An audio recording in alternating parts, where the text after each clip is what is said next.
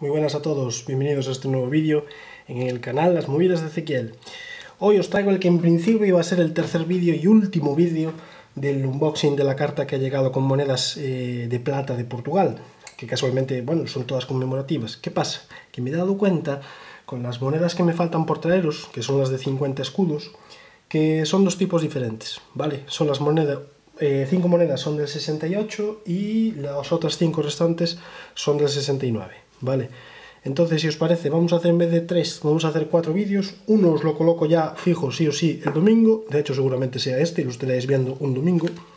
Y el cuarto, pues, saldrá un, martes, ¿vale? Espero que os esté gustando esta serie de vídeos, la verdad. En el pasado las monedas portuguesas no os han llamado mucho la atención. Pero bueno, lo de siempre, que me enrollo como una persiana, vamos al rollo de las monedas, ¿vale?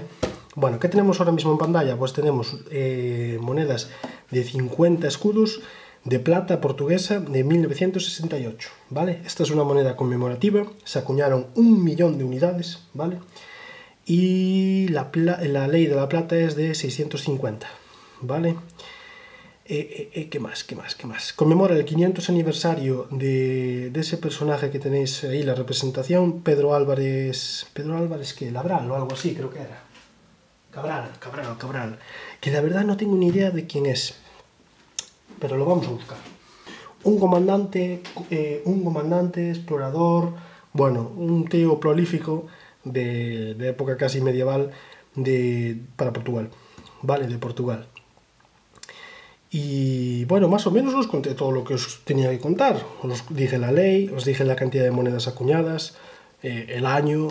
Entonces, bueno, en principio no habría mucho más que contaros. La verdad, estas monedas no todas están en la mejor de las conservaciones. Hay algunas que están un poquito regular. Pero bueno, siguen siendo monedas que pesan bastante, con lo cual, aunque la ley no sea la mejor, eh, tiene cierto valor. ¿eh? Así que, bueno, un poco más. No os tengo mucho más que contaros. Lo de siempre, mejor que el vídeo sea cortito que que sea eterno. Así que nada, si os parece dejamos este vídeo por aquí. Eh, volveré con la cuarta entrega y cuando tengamos la cuarta entrega sí que ya liquidamos este unboxing, ¿vale? Así que nada, espero que os guste y nos vemos en el siguiente.